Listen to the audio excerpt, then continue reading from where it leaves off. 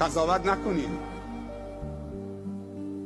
تو حق نداری درباره هیچ کس قضاوت بکنید احکم الحاکمین خودشه.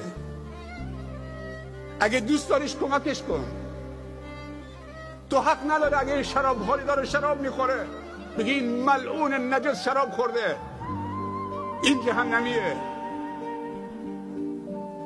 گریه و زاری و تواضع و معصیت خیلی بهتر از تکبر با عبادته. اونی که با نمازش مغروره با درکت نماز و روزش مغروره. خیلی دورتره. آیا نمیترسی که فردا اون شرابکار توبه بکنی بیاد جای تو تو با نمازت مغرورید؟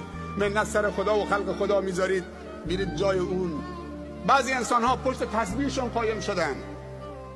بعضی انسان ها پشت حجشون قایم شدن. طرف فکر می‌کنه وقتی رفت حاجی شد دیگه هر کاری دلش می‌خواد بکنه. یه مجوز حج رفتن. بعضی ها پشت نمازشون قایم شدن. هر کسی نماز می‌خونه دیگه آزاده اینطوری نیست. اگر راست میگی کمکش کن تا دست از این شراب بکشه.